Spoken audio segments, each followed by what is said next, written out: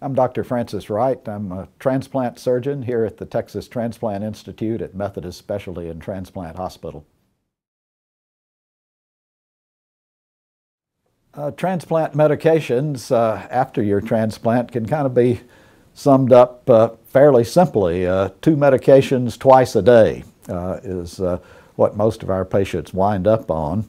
Uh, those medicines are tacrolimus, or Prograf as it was called uh, by brand name, and uh, Cellcept or mycophenolate or one of its equivalents. Both of these drugs are now generic and uh, may be dispensed uh, as generic uh, preparations for our patients.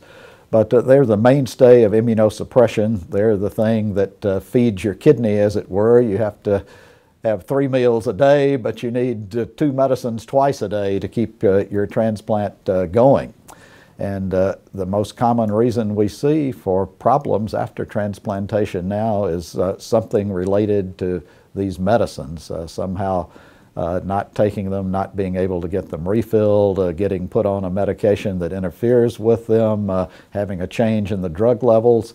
That's why uh, we tell all of our patients they need to let us know if they're on any new medications, if any of their current medications are stopped or changed by other physicians, or if they have any problems uh, getting their medications refilled. Uh, and of course, Patients often have other health problems and will need to be on medications for high blood pressure or for diabetes, but uh, the basic transplant medications are two medications twice a day for as long as you want to keep uh, your transplant. If you follow that religiously, the chances of getting into trouble are really very low now, less than 5% uh, for rejection episodes.